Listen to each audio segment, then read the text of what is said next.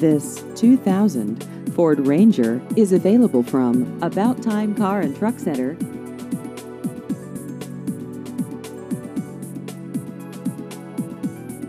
This vehicle has just over 89,000 miles.